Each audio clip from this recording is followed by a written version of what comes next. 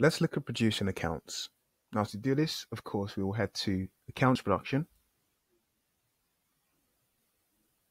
Within the accounts production dashboard, you have the account submission summary, you have your list of clients below, and to the left, you have the authorization codes, again, for your clients.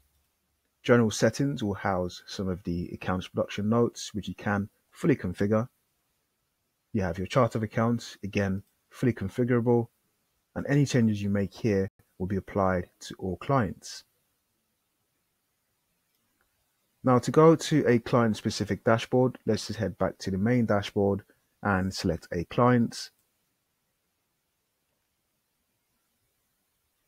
Once here, you only need to do two simple steps to producing your accounts.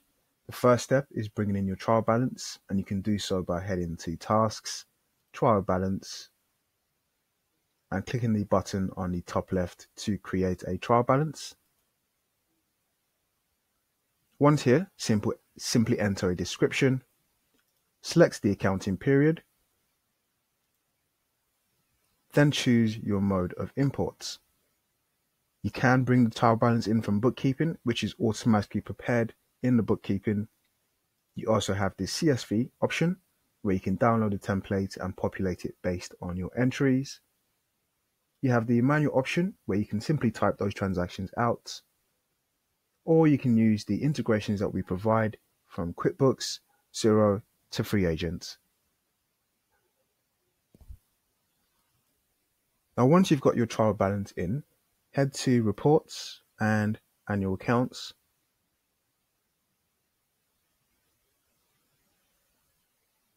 Once here, simply click the button just there to add a new reports.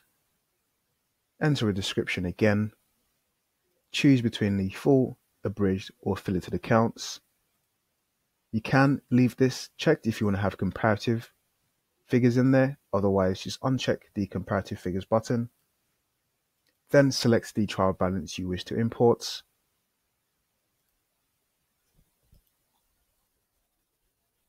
Once you have everything set up, including the dates, simply click Create.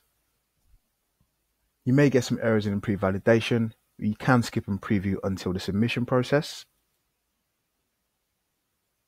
And once you've produced that, we have our full set of accounts with the IXBRL tags automatically done as soon as we prepare the accounts.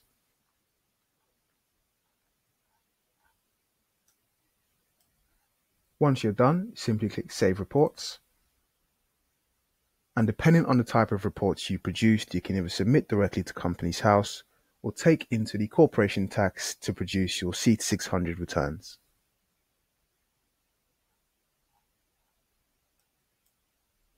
Thanks for watching.